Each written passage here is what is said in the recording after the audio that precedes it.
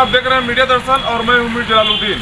अभी मैं कैमूर जिला के मोहनिया के अनुमंडलीय अस्पताल में मौजूद हूँ। सुबह में हल्की बारिश हुई है। और हल्की बारिश में अनुमंडल अस्पताल के क्या हालात है, ये अपने हम दर्शकों को आज दिखाएँगे। चूँकि कोरोना काल के बाद ये जो बारिश की सिलसिला बरसात है पहले ही बारिश में पूरी तरह से नगर पंचायत का पोल खोल दिया है। ये देख रहे हैं हालत ग्राउंड रिपोर्ट देखिए कि ये अनुमंडल अस्पताल में किस तरह से जल जमा हो चुका है। क्योंकि अस्पताल में मरीजों का इलाज होता है और जो अस्पताल खुद ही मरीज़ हो, जहाँ मरीज़ आ ना पाए, उसकी हालात आप अंदाज़ा लगा सकते हैं क्या होगा। जिस तरह से यह पानी लगा हुआ है यहाँ पे किस तरह से लोग इस पानी में घूम घूम के ले रहे हैं? कई बीमारियाँ, कई बैक्टीरिया हॉस्पिटल के अंदर घुस रहे होंगे। क्योंकि मोहनिया का ड्रेनेज सिस्टम की बात किया जाए, नाला का बात किया जाए तो वो चारी तरफ़ इस तरह से बंद है, जिस तरह से मानो ये नाला ना हो, एक तरह से प्लेन रोड हो गया।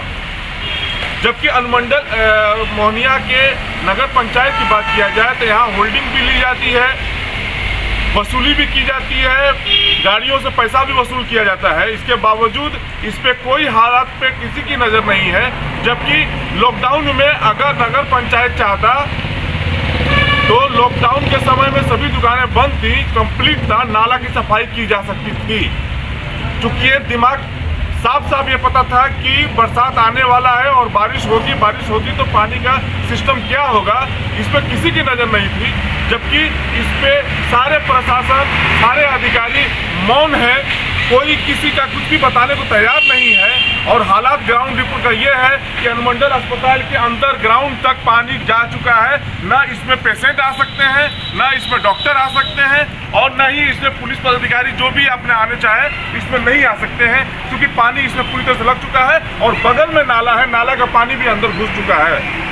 इस तरह से अगर हालात बनी रहेगी तो किस तरह से ये हालात देखिए, ये बगल में नाला है और नाला के अब पूरी तरह से नाला फुल होने की वजह से इस पर सफ़ाई पर ध्यान नहीं दिया गया और इसका रिज़ल्ट ये निकला कि पूरा पानी जो है हॉस्पिटल के अंदर घुस गया और ऐसे पूरा मोहनिया लगभग लगभग पानी के अंदर डूबा हुआ है।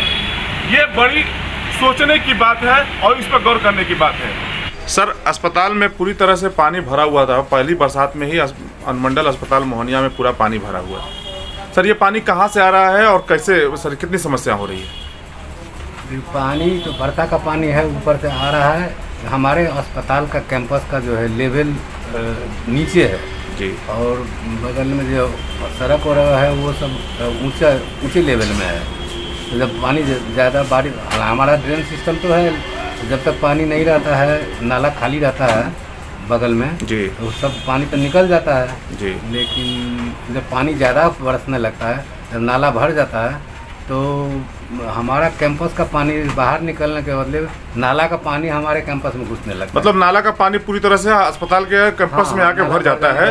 हाँ। तो सर कई तरह का बैक्टीरिया और कई तरह का जो जो है वो फ्रॉग वगैरह जो है मेढक वगैरह सब भी सब हाँ, अंदर आ जाते हैं। कितनी समस्या हो रही है सर आपको? जैसे चूँकि आप जो है उपाधीक्षक हैं इस अस्पताल के तो सर आपसे ये जानना चाह रहे हैं कि कितनी परेशानी हो रही है मरीजों को आने में इलाज कराने में आपको? बहुत परेशानी होती है। गंदा पानी आने से अस्पताल में पूरा फैल जाता है गंदगी नाला का गंदगी अरे चप्पल जूता थर्मोकॉल ये क्या सब बह आता है हम लोग बार बार सफ़ाई भी करवाते हैं लेकिन इसका सर इस इस मामले में क्या अधिकारियों से आपने बात किया कि नहीं? कार्यपालिका से सफ़ाई वफाई का नाला वाला का जैसे कुछ बात हुआ क्या आप लोगों का? नाला के बारे में हमेशा यहाँ का कंडीशन के बारे में बरसात में हर एक साल तो जाता ही है। सूचना दिया जाता है कि हमारा कैंपस मतलब सूचना दिया जाता है कार्रवाई नहीं होती है सफ़ाई नहीं हो पाती है। पल पल का अपडेट देखने के लिए बने रहिए मीडिया दर्शन के साथ। मैं हूँ मीर जलालुद्दीन।